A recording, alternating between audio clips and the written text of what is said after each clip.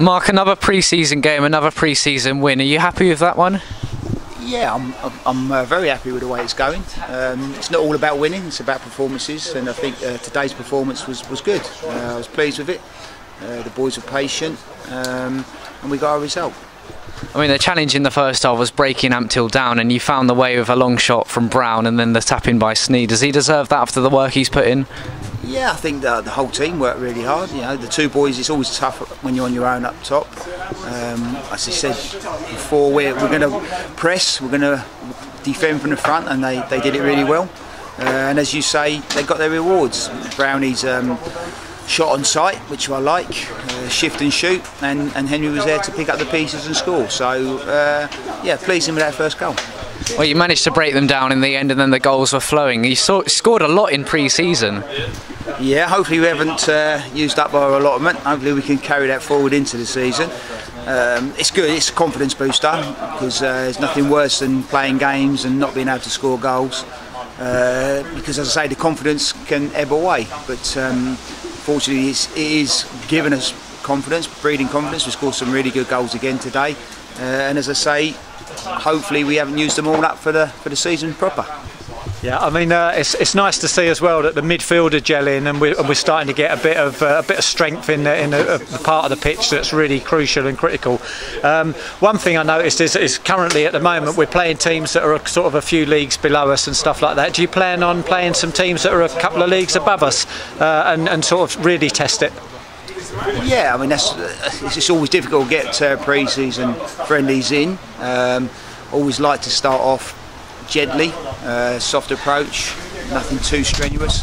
Uh, and yeah, as we get closer to the beginning of the season, we'll be looking to play teams at a higher level. But you know, no no disrespect to these teams that we're playing against. They, they give their all. It's um, it gives us a good test, and uh, you know, it's a, a tool for us. And as I say, we've got a little schedule where we hopefully we'll have some teams um, with higher higher uh, placings in in the levels and. Um, we can play them and test us before the season starts. I mean, you talked to us before pre-season started about this new pressing style that you wanted to develop inside the squad, and we knew that would be a test of fitness as well. Now you've seen some players get 90 minutes. Are you pleased with the fitness levels? Yeah, they're definitely getting there in the fitness levels. Um, traditionally, this time of pre-season, players aren't really playing 90 minutes, but I had a few playing 90 minutes today. Um, they're tired, and that I think showed towards the end when we gave away a sloppy goal. Um, but I put that down to the tiredness. Um, so we can build on that and get more minutes in into people's legs. Um, as I say, we hopefully hit the ground running at the beginning of the season and everyone will be up to speed.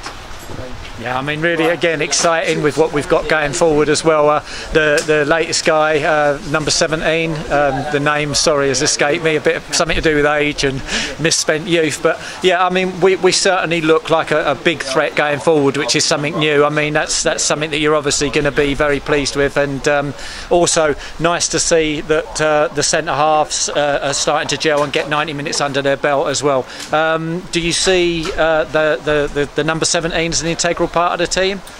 Oh, I'm not going to tell you his name now. So you have to look at that, oh, Mary. You know, keep it, keep him, keep him under the radar. But no, he, he, he did well. He actually picked up ha- hamstring strain right at the beginning. You wouldn't have known it, to be honest with you. But um, yeah, I'll, I'll, another exciting player that I'm looking forward to working with, and uh, once um, he's signed on, then we can reveal his name. But at the moment, he's not signed on, so I'm not letting anyone know, babe. Okay, absolutely. Well, I mean, goals goals have been a thing, as you know, that has sort of uh, let us down in the past, and, and now in pre-season we're we're a, a flourish with goals. So long may it continue.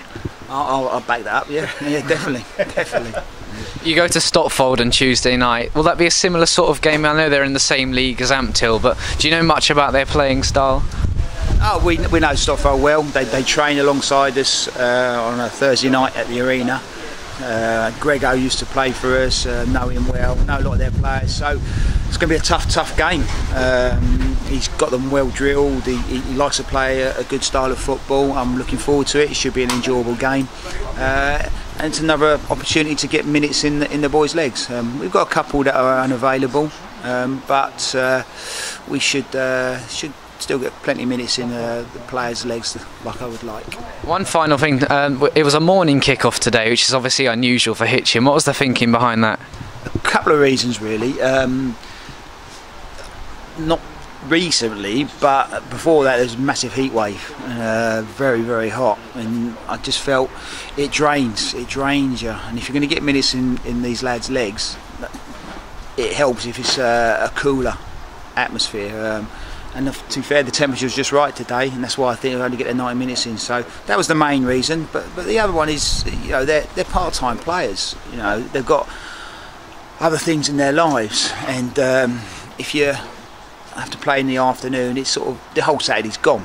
Whereas if you play in the morning, the boys can now go and um, the two marshes, they're going off to play cricket now. Um, other boys have got some jobs to do. I know Digger's got to do some gardening. So, uh, but it, it, gives people the opportunity to do other things in a day, and it, it just it just creates a, a, a happy atmosphere. So that, that's the logic behind it. Thanks a lot for your time. Congratulations on the win today. Thanks a lot. Good to see you boys. I'm glad that uh, we put on a bit of a show, and hopefully uh, you do a good job with the highlights, Ed. Yeah? yeah, as usual. As usual. Yeah. Well done. See you on Tuesday. Yeah, you too. Thanks. Cheers, then. Turn up. Cheers, boys.